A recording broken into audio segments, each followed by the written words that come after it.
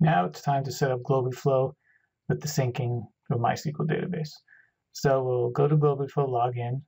We'll navigate down into our organization, our workspace, and then our app. We'll select that. This is where we can get to the tool we need, which is called MySQL. So click on the gears and hit MySQL. Now the first thing we do here is just give it a name. I'm going to call it Property Sync Tutorial. Now the app should be already selected since we selected that in the previous screen. Now here's the server name. This is going to be your domain name. In my case, it's reitutorials.com. Now the port, that'll stay at 3306. Now the MySQL user. You go back to the advanced screen in the Bluehost dashboard, click databases. And this is where you get the, uh, user. This is the user we created in the last step when we created it or the step where we created the database. So that is REI tutor underscore podio. That's the one I created. Yours might be different.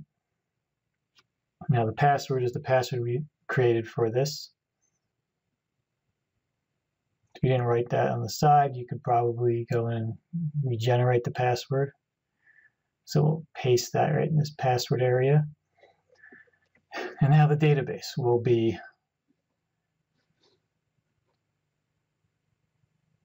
will be right here. So we'll copy that, bring that back over to the database. Now, what the problem we have here is that Bluehost will not allow you to communicate with the server unless you take that IP address and give it access. So we, will copy that, move over so we clicked on the Advanced tab, and now it comes up to the cPanel. And in the cPanel, we navigate down to the Databases area and click on Remote MySQL. This will bring up the access hosts.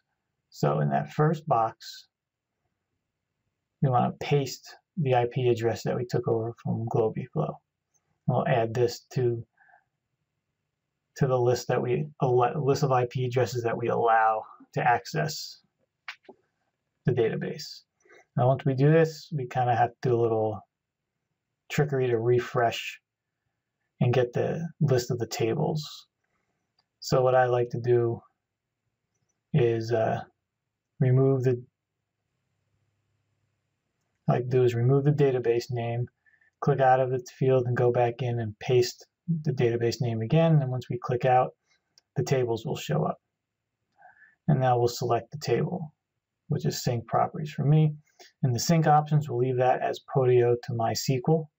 The other option is MySQL to Podio, but that's not what we're trying to set up here. The last part of this is we have to select, match up the fields. So we have to match up the item ID to the item ID in 10 unsigned field. If this didn't show up, then you probably didn't click the unsigned attribute or it's not the right type. Now we set the, the address to the street city, state, and zip, and so on down the line.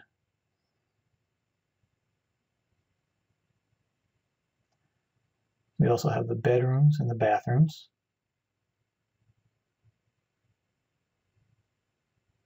Asking price.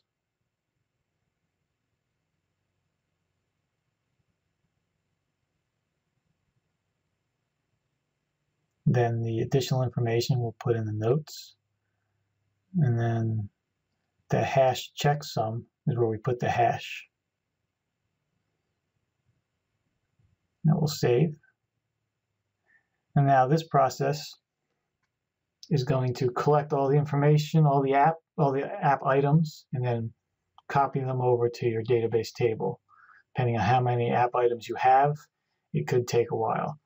For example, my app has about 150 or 850 items and this process is going to take about 15 minutes.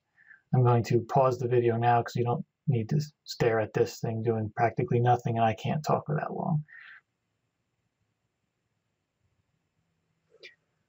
Now the process is complete, you're all set and your GlobiFlow will now sync your Podio app with the database anytime you make any changes to your Podio app item.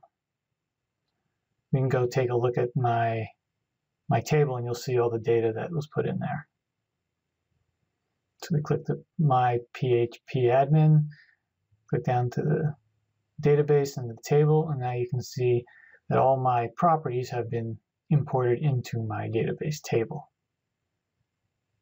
You see there's about 879 records. If you have any questions, please leave a comment below. Thank you.